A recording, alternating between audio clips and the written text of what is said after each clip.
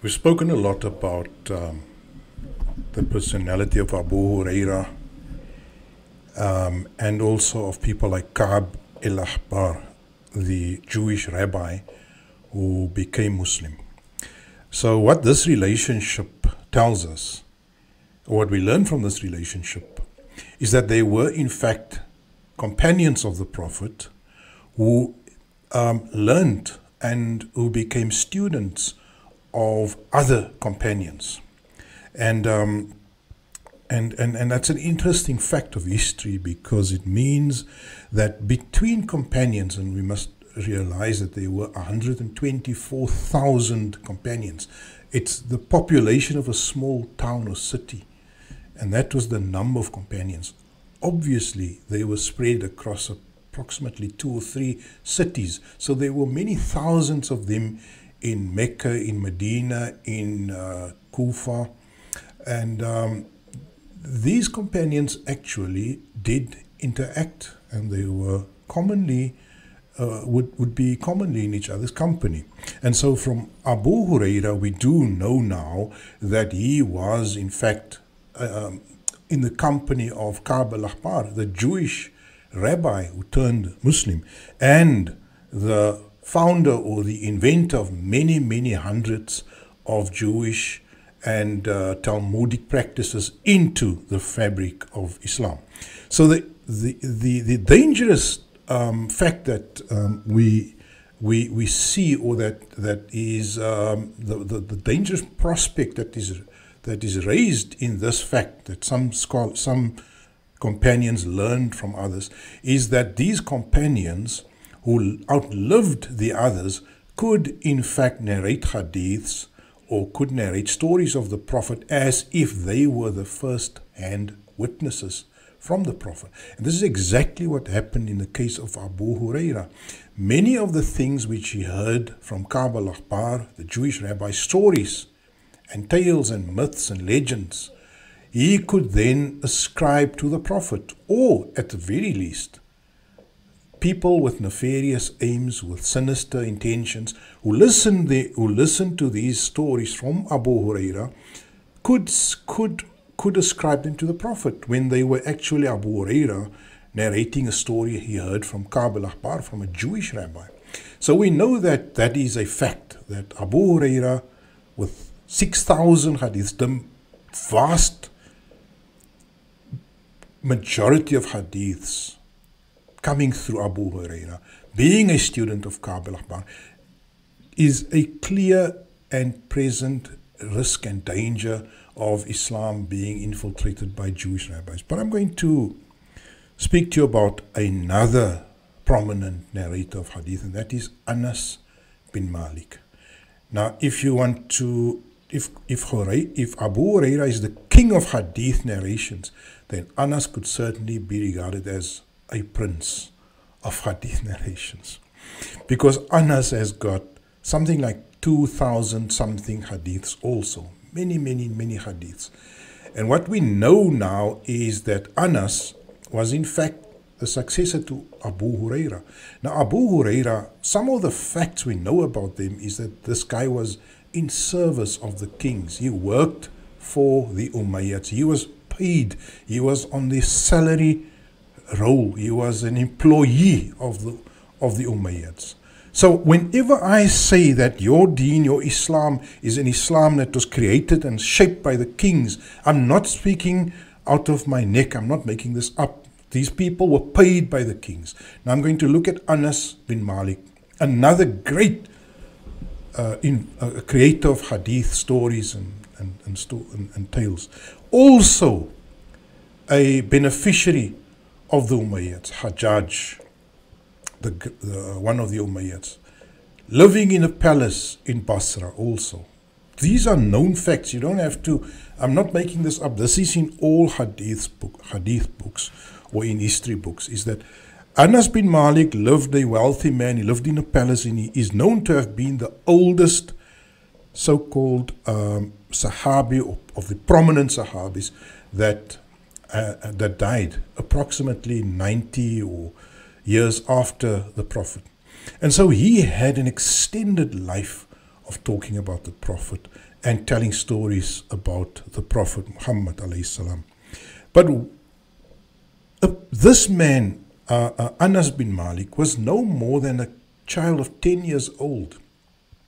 And he is said to have been a servant of the Prophet at the age of 10. Now, the Prophet had powerful grown men that would literally go and wash his feet for him. Why would he need 10 year old children to be servants? But that's just a thought. But now let's just look at this, um, this, this, this character now, the second of the major hadith narrators. You know, there are seven major hadith narrators, uh, Sahabis that have produced or that have presented to the world Islam from their perspective. Now, let's just look at this Anas bin Malik, revered, eh? revered, greatly respected. You know, what I'm saying about this man will actually land me in great trouble in India and Pakistan, where people almost worship the Sahabis. And um, what what can be said about this? Now, I've got. Let, let me point you to the site Ahlul Quran, and what they say about this Anas bin. What it says here, what it says here is that he outlived all the major companions. He was fond of wealth and fame and money, and uh, what Ahlul the, the the site says is that um, because he outlived all the companions, he, did not hesitate making use, right? Those who were eager to hear did not stop for a moment to think that more than 70 years separate Anas bin Malik in Iraq and the prophets in, in, in Yathrib. So his memory was sharp for 70 years as he lived for almost a century after the prophet, and during which time he was a, a child. Um, they were too eager to adapt to believe whatever Anas bin Malik would recount, and he used his fame and stature to invest his narratives and make tons of money. Of course, such endeavors for wealth entail that Anas bin, bin Malik must flatter, obey, and please Umayyad rulers and despots while overlooking their injustices and their, their grave injustices. The name of Anas bin Malik was never mentioned in any three historical accounts without successive wars and conquests committed once Muhammad died until Anas bin Malik died in Iraq. So he is not mentioned with any sort of um, acclaim um, regarding any major battle. So this man became a star under the Umayyads. He was never regarded as anything really mentionable during the time of the Prophet. He really became a star once he started speaking, or once he started acquiescing or agreeing to the Umayyad kings and serving their purpose by turning Islam into a, a pie in the sky type of religion. You know, um, and, and, and, and let me show you something else also that comes from a thesis, a work um, that is studied um, the role of Israeliyat or Jewish um, ideas and information entering Islam. Okay, so this is from a the, title is this uh, is actually Israeliyat and the emergence of the Baha'i interpretation of the Bible. Right, so it's not directly dealing with the topic, but um, it's a thesis written by Stephen N. Lambden. Uh, it is a registered thesis from Newcastle University Library. But there's some information that I want to draw out of here to show you the um, interaction between um, Anas bin Malik and uh, Jewish traditions and ideas. See, on page five of this thesis, on page four, we see the heading um, Early Muslim Transmitters of Israeliyat, and it actually identifies those sources of Israeliyat or Jewish ideas and um, concepts that have entered the fabric of Islam. And of course, as we are familiar with, the first that they identify is Abu Ishaq Ka'b al-Ahbar, right? And that is who worked through um, Abu Huraira um, to actually introduce a lot of Jewish ideas in Islam. But the second one now that I want to speak to you about for this video is Abdus Abdullah bin Salam al Harith, a Medinan Jew of Meccan origin. Abdullah bin Salam converted to Islam after the Hijrah.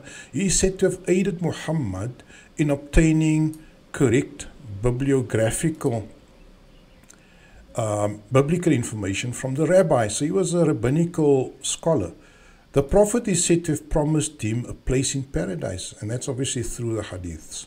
To him are attributed books on magic and amulets, as well, for example, as traditions from the book of Daniel. Numerous Islamic Israeliyat traditions originated with him. They were often relayed, here comes the key point, they were often relayed by the prolific traditionalist Anas bin Malik. They were often relayed by the prolific traditionalist Anas bin Malik. So, what that says is that, as with Abu Huraira, who was a student of Ka'b al-Ahbar, Anas bin Malik, the child Anas in Medina, who was 10 years old in Medina, who grew to be a man of 100 years old, he confused being in the company of Abdullah bin Salam, the Jewish rabbi or the Jewish learn the, the, the, the Jew of Mecca of Medina. Right? This Jew became Muslim. Anas has learned and has taken a lot from him. Now comes the time of Anas serving the Umayyads, living in his palace, being visited by thousands and thousands of people to speak about the Prophet 70 years after Medina, after the Prophet had died. We find the same Anas is now telling stories about the Prophet. And one of the most famous stories, one of the most famous stories of Anas is, of course, the story of the 50 salahs, the 50 of the Prophet, and I'm not going to go through it in detail. You've all heard it some at some point in your madrasa or in your mosque or in a Friday sermon. The story of the Prophet ascending to the seventh heaven and being instructed to tell the believers to observe 50 times of prayer every day. Now, that in itself is a ridiculous thought 50 times a day. One salah takes you 20 minutes then uh, basically 50 times 20 minutes would uh, mean about 16 to 17 hours you would be busy in prayer. So the idea of 50 prayers is just a ridiculous idea, but in any case, that particular narration of the Prophet getting 50 prayers, then going down to the sixth heaven, uh, where Moses um, actually then serves as the mentor or as the advisor to, to the Prophet Muhammad, where Moses then tells him, no, no, no, You've got to go back and get it down from 50. It's way too, that's way too many. And then this debate ensues between God and Moses being the advisor to Muhammad. So you have the Jew telling Muhammad what to do, and Muhammad is negotiating with a boss. Subhanallah wa Subhanallah wa na'udhu billah. We must seek refuge from Allah from believing this nonsense, this drivel. And this drivel, this nonsense, and Muslims will become upset if I tell them that this is drivel. But it, it is, it points, it shows how they have started taking the religion for a joke. We know this hadith comes from Anas bin Malik, and I can show you something here about this hadith. Have a look at this. This is the this is the hadith. This is the 50 the 50 salas hadith here right, on, on, on, on, on the side. It comes from Anas bin Malik once, twice, three times, four times. All of its sources lead back to Anas bin Malik. The story of Moses telling the Prophet to go back and go get a discount on his salahs and go back and get a discount and go back and get a discount every time. So it went from 50 to 12, 10 and then to 5, whatever the story was, right?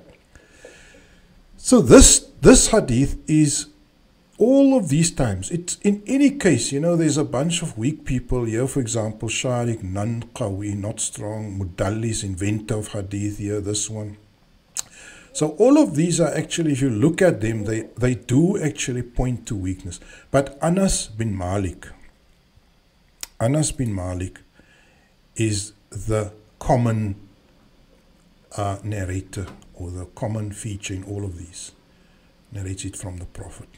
The strange story of the Prophet going and negotiating with um, Allah in terms of the Salah. Now, that story, it reeks of Talmudism.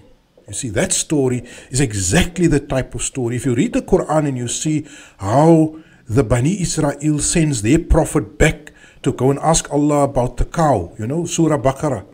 How, what color must the cow be? You know, this debate, this this argumentation with Allah. It's a it's a Talmudic, it's an Israeli approach to dealing with the creator or the divine creator of the universe.